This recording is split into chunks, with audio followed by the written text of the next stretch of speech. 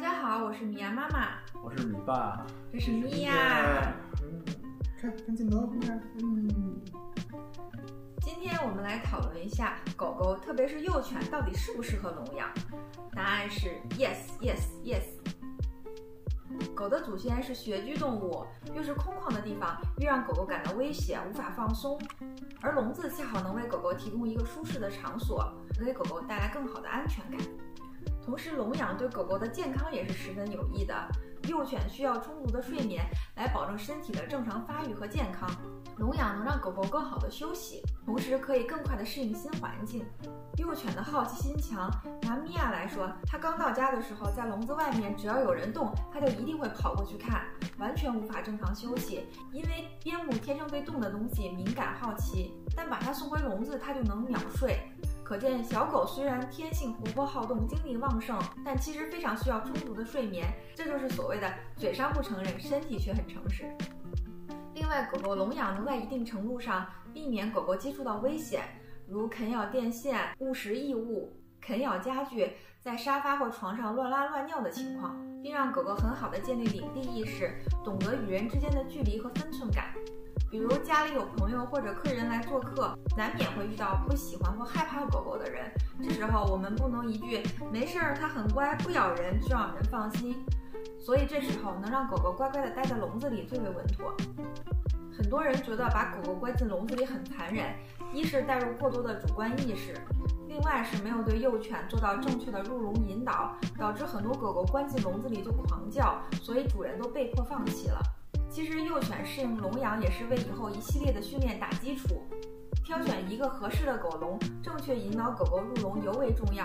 要让狗狗明白，笼子是休息和睡觉的地方，而不要让狗狗觉得关笼子对它是一种惩罚，这样狗狗就不会那么抗拒啦。米爸开始介绍笼子了。关注我们的朋友很多都对米娅的笼子感兴趣。它的笼子呢是卧室和卫生间是分开的，这个优点呢是幼犬长期使用不会造成卧吃卧拉的现象。这个笼子不足呢是它原本是没有底下这个架子的，它原本只有两边一大一小两个托盘，等于米娅大小便都直接就会拉尿在托盘里，会弄它一身，所以我们才定的这个架子。这个是那个架子，然后这个是托盘，都是不锈钢的。如果大家想买这个笼子的话，我建议要不就是也是定做这种架子，否则我不太建议大家购买啊。我再给大家一些购买笼子的建议。狗笼呢，最好要选择不锈钢材质的，大小要以狗成年后可以舒服的站立、转身来决定笼子的大小。垫子呢，只需要铺笼子的一半就可以，夏天铺个薄点垫，冬天铺个厚点垫子就可以，留的那一半空间方便狗狗来拉屎尿尿。最主要给大家建议是。选笼子底下一定要选这种这种粗的不锈钢管的笼子，一定不要选那种细的跟铁丝儿一样的笼子。那样的笼子长期下来，幼犬脚会造成指尖炎这种病。嗯，大家可以想象一下，我们穿的那个人字拖中间那个带儿，如果要是铁丝儿的话，那人是不是会难很难受？而且幼犬老在笼子里跳来跳去，那样给它造成更大的伤害。我们买成品笼子，买塑料托盘也可以，那种的经济实惠，也不会那么重。还有小伙伴。问我们说：“你们这笼子这衣服是干什么用的呀？”因为当时米娅来的时候，北京是十月份，当时已经挺冷的了。我们当时也没想出太好的办法，就拿这衣服给它临时做了一个算小帐篷吧。因为冷了，它就能钻进去。啊，这边上这不还有一小猴子吗？这小猴子里边能放热水袋的。嗯，这样给它对付了一个星期吧，然后才想起来给它买那个保温罩了啊。我给大家看一下那个保温罩啊，棉的加厚的。当时我们买这保温罩。单纯就是为了给米娅保温用的，但是没想到用了之后，惊奇的发现它的作息时间也能跟着我们一块儿起床和睡觉了。晚上让它进笼子，把罩子一弄上，它就能安静的睡觉。周末我们想睡着懒觉，它也不会说六七点钟就开始乱叫了。所以这个保温罩还是强烈的给大家推荐的啊！如果大家有疑虑，可以先用个毯子把自己的笼子，嗯，给蒙上，先试一试，然后再购买也可以。这个笼子两边还有两个小窗户。大家要是担心它不通风的话，还可以把这小窗户打开。狗笼子和笼罩介绍完了，现在我们来聊聊很多人问到的如何防止幼犬在笼子里乱叫的问题。这里我们真的很有发言权。米娅刚来的时候，我们家住四楼，一楼都能听到它的惨叫，邻居的投诉当然是免不了的啦。那过程简直不堪回首。经过训练和磨合，现在米娅已经能做到自由的进出笼子，甚至说是喜欢笼子都不为过。我们白天上班，米娅能自己在笼子里待一天都不会乱叫，甚至在开着笼门的情况下，它困了都知道主动回到笼子里休息，我们甚是欣慰。下面我们来讲讲我们是如何训练和引导米娅的过程，希望对你有帮助。首先，你要分清楚你的狗狗是在什么情况下叫的。第一种是你把狗狗刚关进笼子里，它就开始叫。回忆一下，你是不是在狗狗还在玩耍的时候，就粗暴地打断它，然后把它赶进笼子里？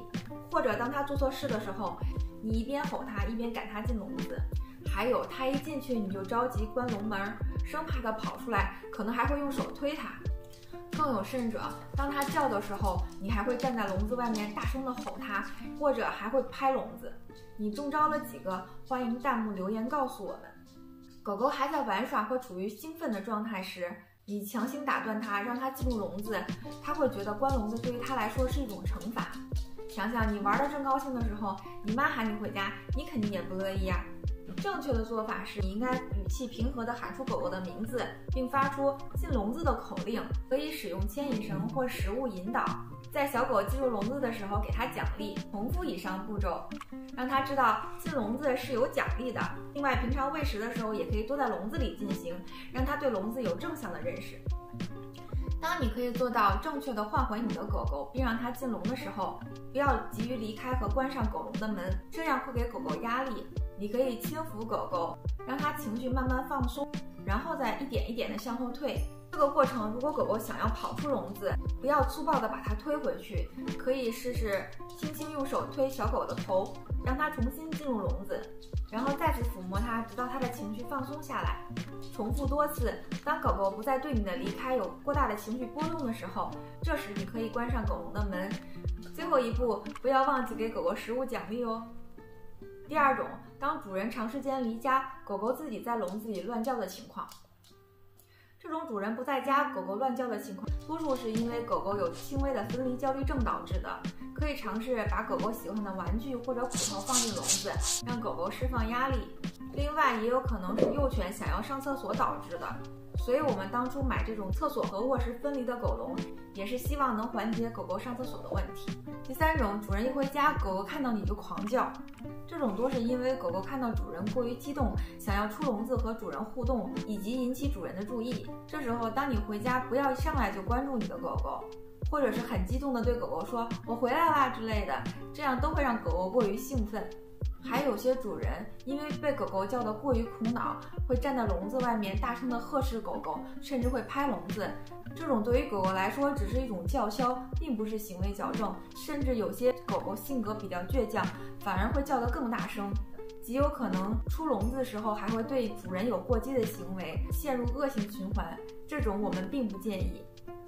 我们的做法就是忽略狗狗，不要跟狗狗对视，最好不要出现在狗狗的视线范围内。即使狗狗叫，也不要理它。我知道这开始很难，但是相信我们，循序渐进，这种方法才能从根本上解决狗狗乱叫的问题。还有最后一点，如果狗狗出笼子的时候过于激动，也要首先让它平静下来，才能打开笼门让它出来玩耍。以上就是对于狗狗适不适合笼养、笼子的介绍，以及如何防止幼犬在笼子里乱叫的问题。总的来说，就是让狗狗明白，笼子是睡觉和休息的地方，进笼子会有奖励，而不是惩罚。不打、不骂、不关，慢慢的让你的狗狗爱上笼子。如果你觉得这期视频对你有帮助，欢迎点赞、关注加收藏。我们也不是专业的训犬师，也是一边学一边做，把我们的经验分享给大家，希望对你们有帮助。也欢迎大家在弹幕和评论区与我们互动，大家养狗中遇到的问题。下期我们会介绍狗狗的牵引绳如何选择，以及米爸开始分享他平时是怎么训狗的，大家期待一下吧。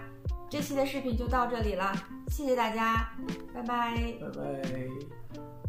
感谢大家收看本期视频。